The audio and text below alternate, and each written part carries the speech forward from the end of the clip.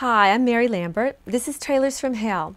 Today's trailer is The Masque of the Red Death, directed by Roger Corman and based on a combination of several Edgar Allan Poe stories.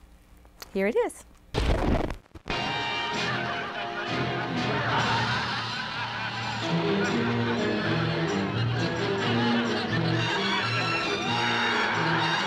So here we are back with The Masque of the Red Death.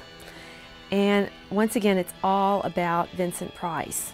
That, that is one reason I chose this movie because it's a tour de force for Vincent Price. You know, there's always the woman, uh, young woman playing opposite Vincent Price, and his, he always has the girl. But in this case, uh, once again, once again, there's a young woman playing opposite Vincent Price, but once again, she's not a big victim like women a lot of times are in, in, horror movies. In fact, the young woman in this movie, it's not this girl. It's it, this is this is the evil stepmother or whatever.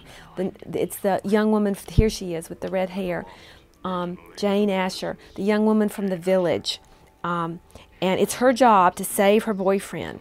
And the only way she can do it is to attend a bunch of drugged out parties in the VIP room of what looks like Studio 54, maybe, and this movie basically has two, it sort of combines two fascinating periods of history medieval history and disco.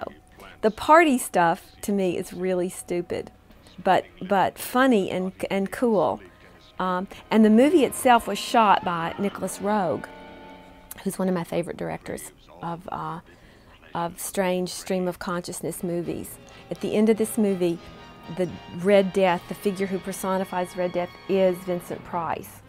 But uh, once again, that's not what was in the story um, that it's taken from.